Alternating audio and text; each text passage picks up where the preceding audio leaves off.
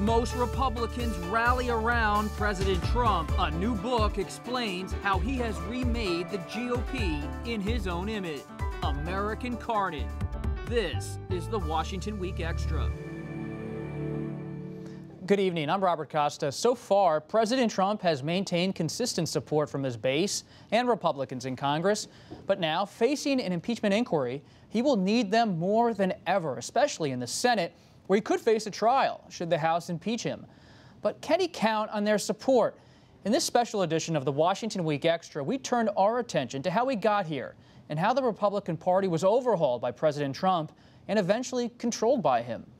Joining me tonight is Tim Alberta, chief political correspondent for Politico magazine and author of the terrific bestseller American Carnage on the front lines of the Republican Civil War and the rise of President Trump.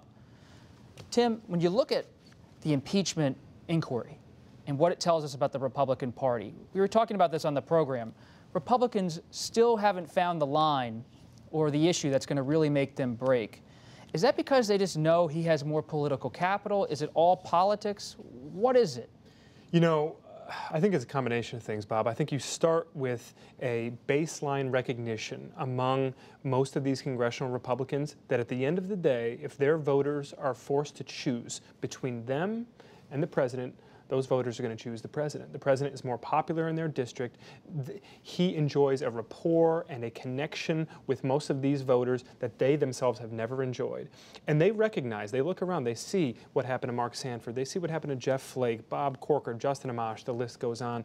They understand that the quickest way to lose their job is to cross this president. Now, you add to that the fact that they believe this president, many of them really truly do believe that this president is fighting for conservative values and a conservative agenda in a way that no other Republican has since Ronald Reagan. And people may sneer at that, but they will say to you, look, is he a choir boy? No. Is he one of us ideologically? Not really.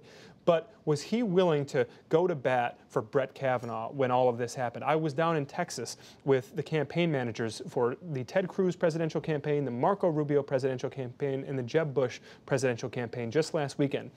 And they all said something fascinating to me, Bob. They all said our bosses, if they were the president and if they had nominated Brett Kavanaugh, they would have pulled his name from consideration. They would not have been willing to go through a fight like that. And I think it's a fascinating window into why some people, despite their discomfort with this president, still find themselves loyal to him because they believe that at the end of the day, that this is sort of a zero-sum clash between Democrats and Republicans and that he's willing to fight for Republicans in a way that nobody else has. But why do Republican voters have that bond with President Trump? Is it his nationalism, his grievances against the global economy. What is it? What's that bonding all about? You know, I think at the end of the day, it's actually got a lot more to do with culture than it does with policy. And, and, and there are certain issues, obviously, like immigration, like guns, that straddle those two universes. But at the end of the day, this president was willing to sort of take off the gloves and, and strip off the varnish and speak to voters in a way that no politician had before. And a lot of that got to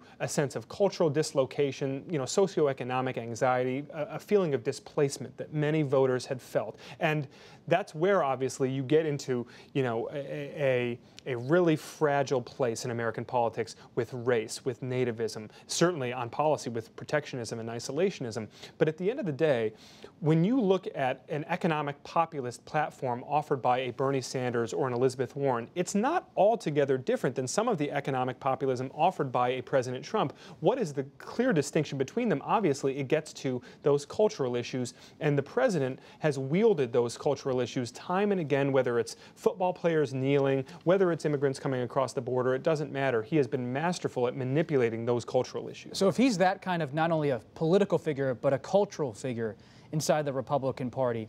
Is there anyone out there who has similar cultural cachet with Republican voters who turning on President Trump would actually change the dynamic inside the GOP? Is there anyone? Maybe there's no one.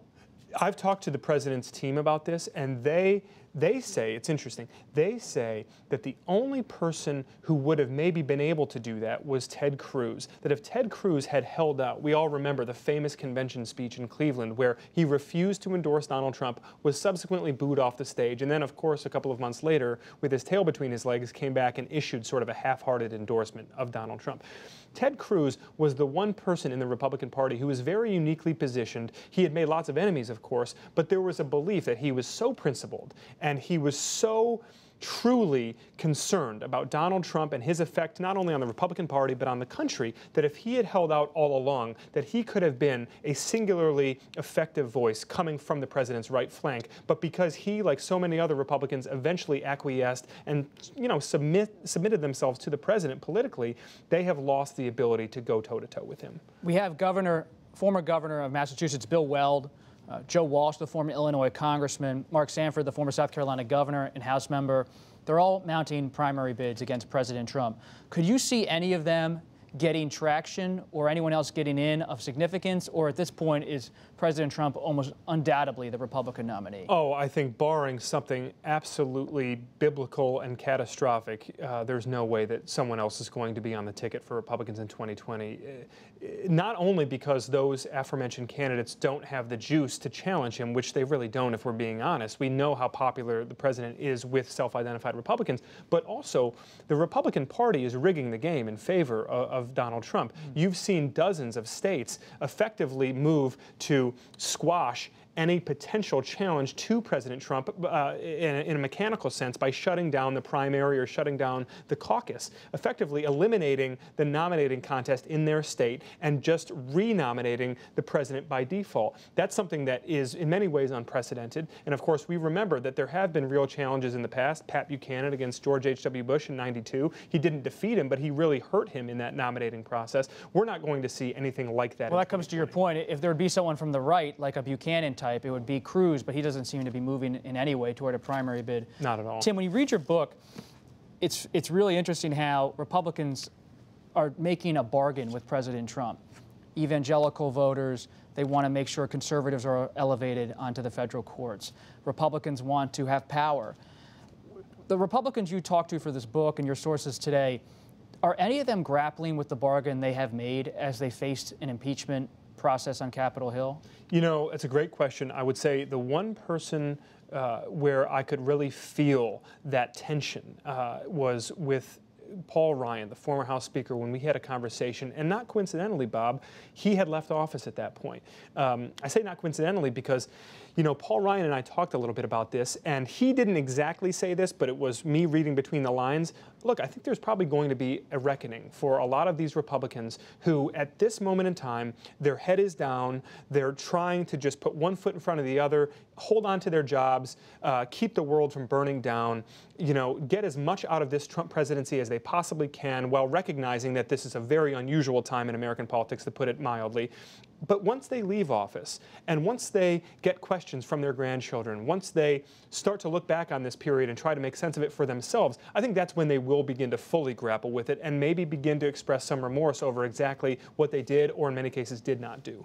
Final question for a little bit of fun. When you read this book, you think about the 2008 to 2016 period in the Republican Party, from Bush to President Trump.